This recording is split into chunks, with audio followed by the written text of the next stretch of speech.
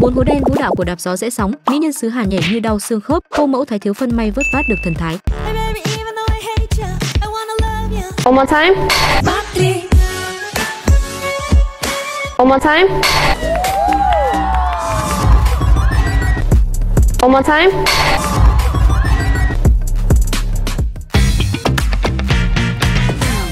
Chào mừng bạn đến với tin tức nơi có thể làm bạn đã cái nư vì sắp dìm idol ai đó. Đạp gió dễ sóng 2023 lên sóng đã thu hút rất nhiều sự quan tâm của khán giả. Bên cạnh những gương mặt tạo nên đề tài để tranh luận như Chibu, Amber, Tạ Na, Ngô Thiến, Trương Gia Nghề, thì dàn chị đẹp như Chu Cha Hiên, Thái Thiếu Phân, Gina, Lý Sa Mân Tử lại khiến netizen cười bò vì khả năng vũ đạo hài hước của mình. Không hoa khi nói rằng 4 tỷ tỷ này chính là hố đen vũ đạo của đạp gió dễ sóng đó nha. Thái Thiếu Phân, trong vòng công diễn đầu tiên, Thái Thiếu Phân đã rất sợ hãi khi phải chọn đội vì bản thân cô không biết nhảy, hát cũng chỉ ở mức tạm được. Đã có không ít video hậu trường được chia sẻ cho thấy Thái Thiếu Phân khóc lên khóc xuống vì than thở làm ca sĩ quá khó, thậm chí là khó hơn cả sinh con. Dù vậy, nữ diễn viên vẫn cố gắng luyện tập và hoàn thành sân khấu trình diễn của mình. Chỉ có điều khả năng biểu diễn của Thái Thiếu Phân hơi yếu, màn vũ đạo của Thái Thiếu Phân phải nói là rất dở.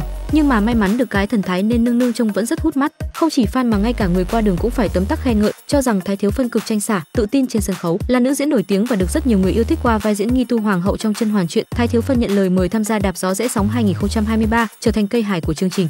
Trước đó, ngay trong tập đầu tiên của đạp gió rẽ sóng, Thái Thiếu Phân làm netizen phải cười bò vì dám mang tiếng Trung bập bẹ của mình đi dạy chi bù.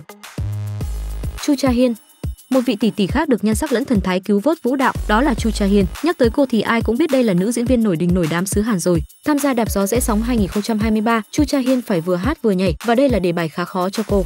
Chẳng thế mà trong vòng công diễn, mỹ nhân người Hàn trở nên khá lúng túng. Dù thuộc vũ đạo, nhưng cô nhảy chẳng khác nào bị đau xương khớp cả. Thậm chí có lúc người xem chẳng hiểu Chu Cha Hiên đang nhảy cái gì nữa. May mắn là nhờ có tạo hình sang chảnh, kèm theo đó là gương mặt đẹp mọi góc hình nên Chu Cha Hiên đỡ bị chê phần nào. Chứ phải người khác chắc là bị netizen góp ý không ngớt đấy.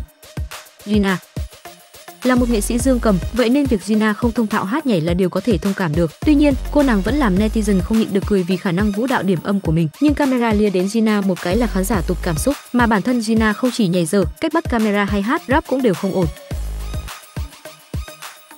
Lý Sa Mân Tử phải nói rằng ở vòng công diễn đầu tiên, Amber và Chu Châu đã gánh tim còng lưng. Nguyên đội của cô đã có sự góp mặt của hai thành viên không biết nhảy rồi. Ngoài Gina thì Lý Sa Văn Tử cũng là mỹ nhân được liệt kê vào danh sách hố đen vũ đạo của đạp gió rẽ sóng 2023. Trên sân khấu, Lý Sa Văn Tử dường như không biết điều chỉnh nhịp độ của bản thân, lúc cần lực mạnh thì không thấy, khi cần vừa phải lại quá dư. Khoảnh khắc cô thực hiện động tác ngoái tay bên cạnh Amber khiến người xem cười bỏ, bởi chính xác đó là hình ảnh của hàng Ryan và hàng pha cây đó. Bị điểm tên vào danh sách hố đen vũ đạo của đạp gió rẽ sóng 2023, các vị tỷ tỷ trên đây cũng không lấy làm buồn vì dù sao họ cũng đã cố gắng hết sức rồi. Hy vọng trong những vòng công diễn sắp tới, họ sẽ tiến bộ nhiều hơn nữa, khiến người xem phải bất ngờ.